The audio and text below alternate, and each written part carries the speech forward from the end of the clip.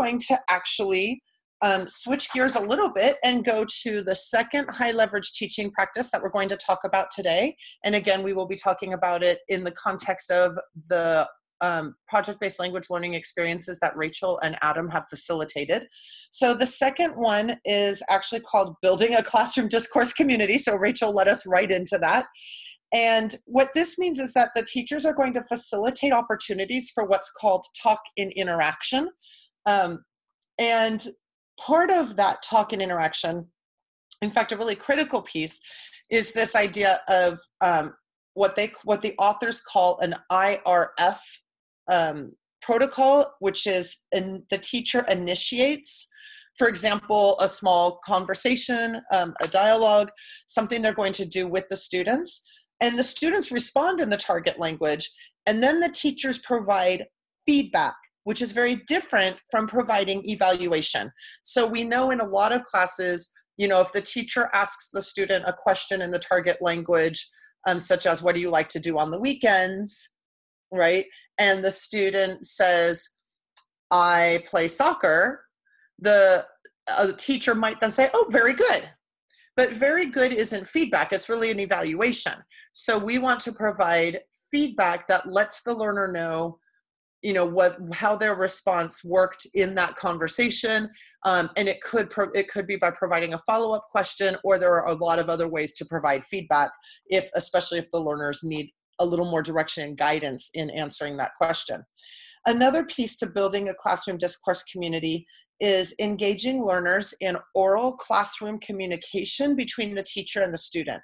And to make that possible, you really have to have familiarity with and among the students. Most of us as language teachers, I think in a way we find this easier than almost any other subject because we spend so much time engaged with our students and having our students tell us about them in the target language but it is really critically important to build that familiarity um, another piece of engaging them in that oral classroom communication involves creating the contexts in which the learners can interact in the target language, including spontaneous interaction and just chit chat. So when I was in class with my learners, it wasn't just the lesson that was me being 90% or more in the target language. It was anytime I saw my students in the hallway, when they entered class, between activities, I would do all the chit chat in the target language as well. Um, and you want to build on the context that the um, teacher and learners share, and namely the school and the community if you're looking for some ways to build in some of that uh, spontaneous interaction, there's a whole bunch of resources just right within your school and community of topics that your learners will have some knowledge of and have opinions about that can be harnessed. Another aspect of building a classroom discourse community is designing and conducting oral, interpersonal, pair, and group tasks. So that would be student to student because they can't just interact with me as the teacher. Also, we need to help them understand, um, or rather, we as the teacher need to understand the critical characteristics of interpersonal communication and presentational communication. And we need to provide support to students um, to use conversational gambits. And Rachel mentioned that word a little bit in our last conversation. These are language chunks they do all kinds of really important things in conversations, but they aren't necessarily things we remember to actively teach, but we should.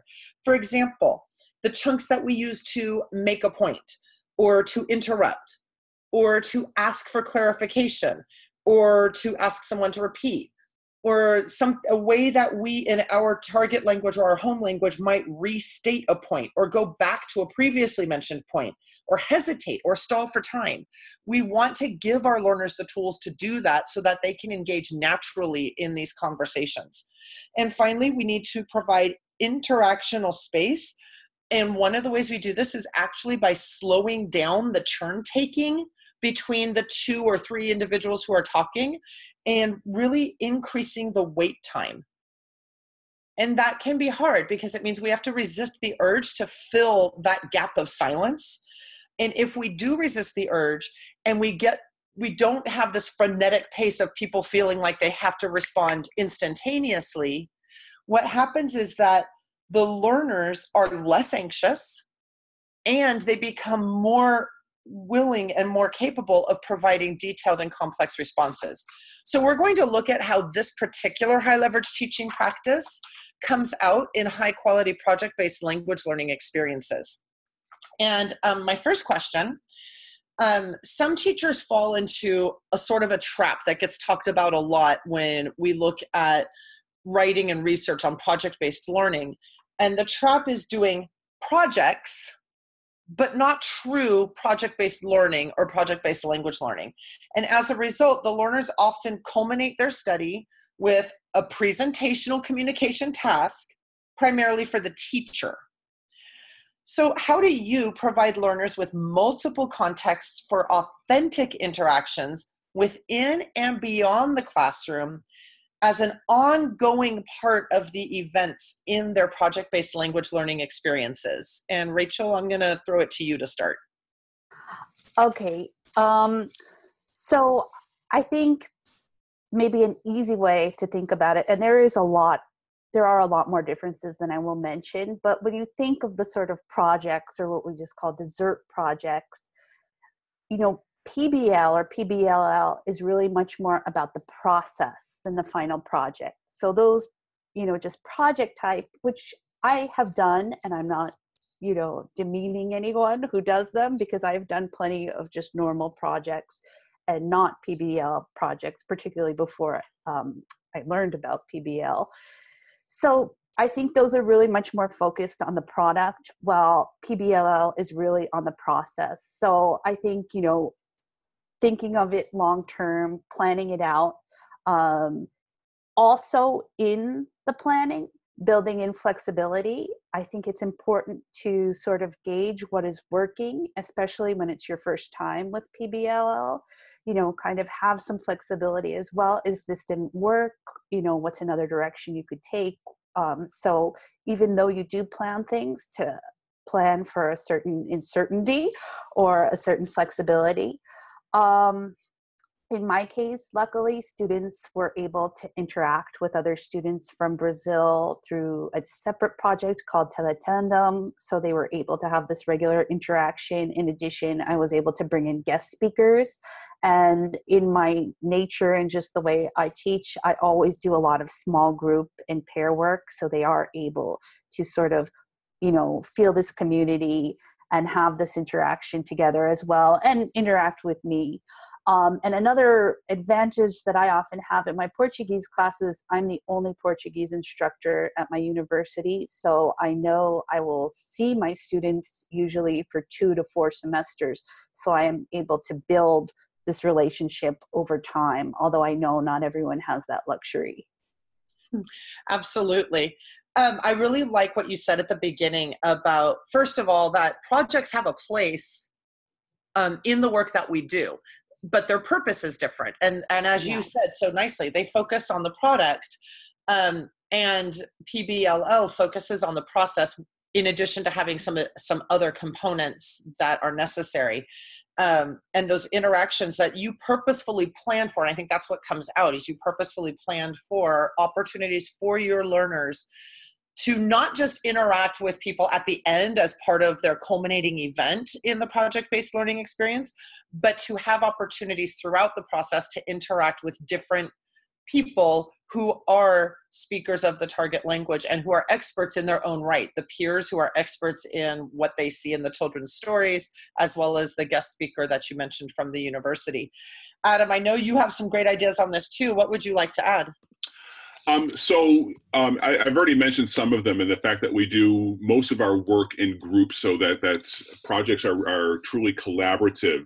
But we really try to to have, uh, have activities in different stages through the whole project process, so the students have some uh, opportunity to interact with other groups of students and present what they're doing or uh, or give uh, feedback in ways I've already discussed. But maybe one way to, to to dive into this more deeply is to share a little bit about a different project that we do. We have our seventh grade students design a template for what they think would be the ideal mobile phone app And this is something that with 12 and 13 year old kids, they love their phones. And if you have them to think creatively of what they would want their phone to be able to do for them, they have lots of ideas. And then in a, in a, gr- in a group of 22, they'll, they'll draw out a sketch, have some, some basic vocabulary about what it should do. We post them all around the room and have a gallery walk, and then have the students give little, little bits of feedback and vote on their favorites um, models for this. We and then we end up doing this as a contest. The six uh, uh, um, uh, templates that, that get the, the most votes end up being the projects moving forward. And the students who are not chosen, then they become members of the team with that person. And then they have roles of you have the, the, the inventor, who was a person who presented initially. Then other kids have to decide are they going to be a marketer? And then they have to design an advertisement for this, or a designer where they have to develop what the, um, what the various uh, functions within the app will be like and so on. And suddenly it becomes a, a, a collaborative process. But you know before they went there they had to have a little mini presentation with each other that had some high stakes because they all wanted to have their their own uh, design chosen. And then even as they move forward with that process there's various steps where they're going to be sharing uh, with different groups about what their ideas are and get some feedback that way. So that that that, that all of this is embedded with like little mini presentations as they as they go along to to build to their final presentation so you brought up a couple of really important points there. Um, one of them being that personal um, kind of motivation and buy-in to the topic um, and re- something that is relevant to the students. And that came up right at the outset when we first heard about the projects that you both are doing. Um, and also that sense of really being thoughtful about from the beginning um, whatever the entry event might be or how you get this started all the way through the process building in multiple opportunities for them to collaborate and interact with each other you know as well as potentially having opportunities to interact with others but not just them working in silos developing something on their own um, without any collaboration with each other. So what do you see as the relationship between this particular high leverage teaching practice of building a classroom discourse community and the high quality project based language learning elements of intellectual challenge and accomplishment, collaboration, or authenticity. Adam, why don't you start? So, one big challenge we have working in our school with middle school students who've been studying Chinese for six or seven years up to then is is oftentimes uh, our our adolescent students start to reject the idea of, of speaking Chinese all the time. It's not so cool anymore. They don't necessarily want to please their teachers when they were younger.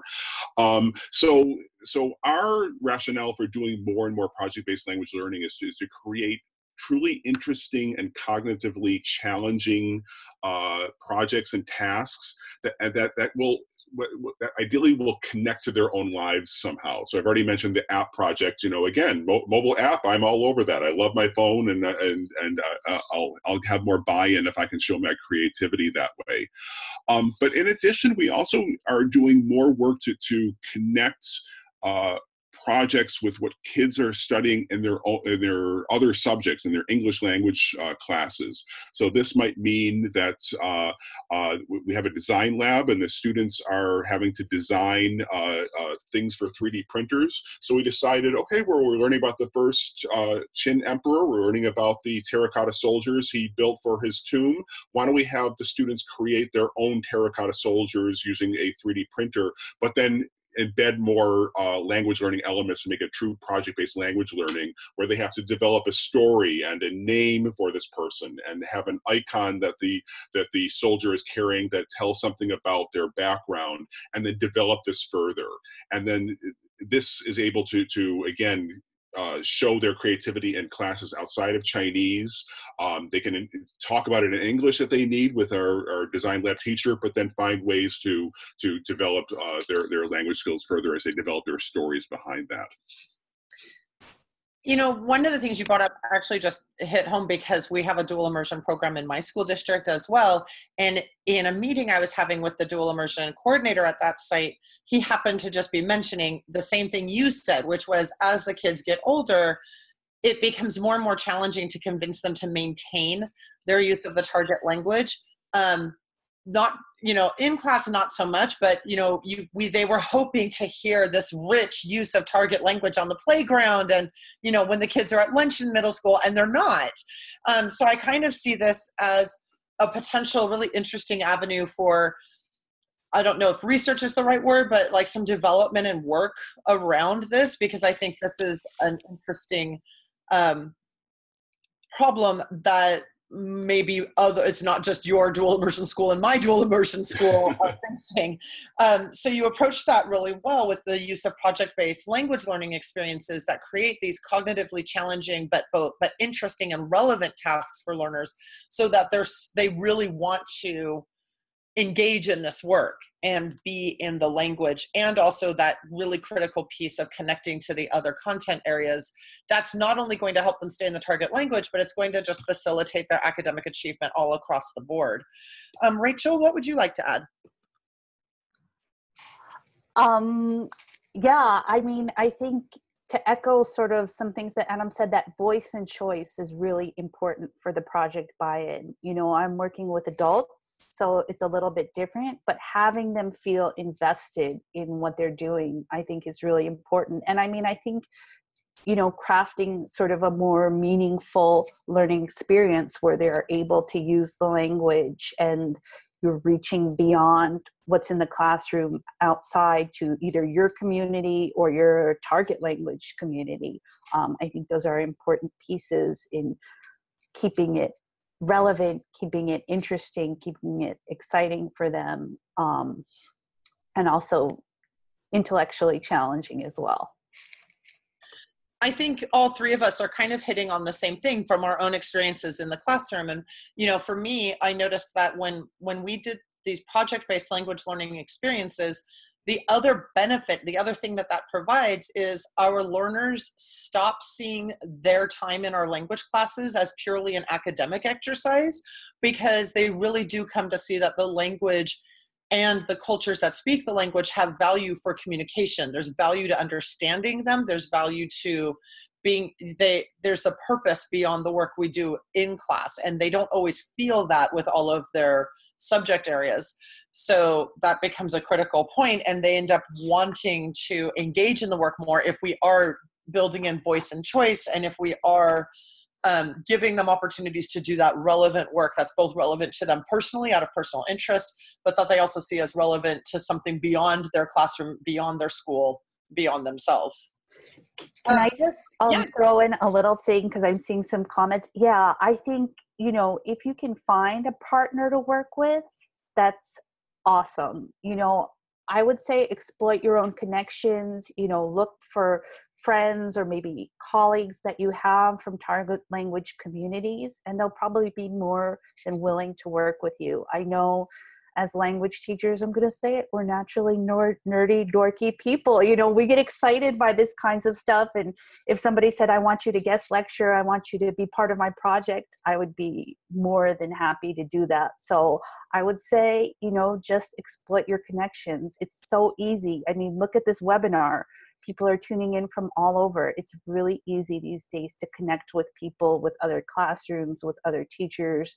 So, I mean, take advantage of it.